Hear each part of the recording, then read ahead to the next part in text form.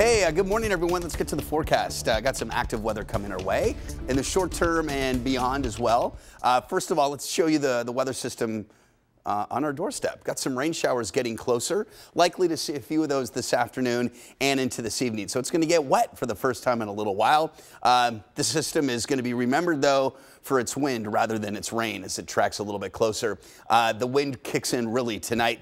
A couple of showers this evening and tonight, but after 10 or 11, that's when the wind uh, begins to rear its head. As we showed you, probably 30 to 40 up to 50 mile an hour winds are possible tonight. Notice on future look pretty quiet, but here come the showers, uh, especially uh, just after the commute, probably during the commute too.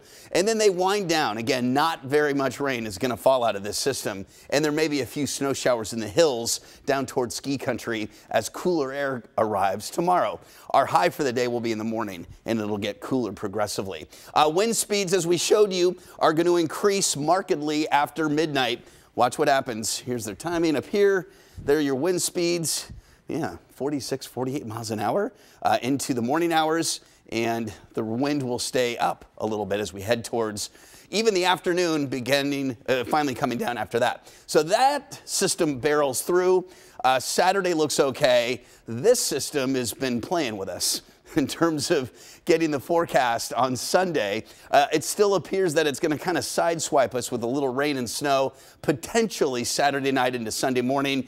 This is certainly a system to watch because all it needs to do is jog farther to the north to have more of an impact. But as you can see, not much out of this, but it may get a little sloppy pre-Bills game but again, don't hang your hat on anything that's going to be too troublesome at this point. If you're heading east, though, bigger snows for New England is how it appears. And then next week, a bigger system to watch.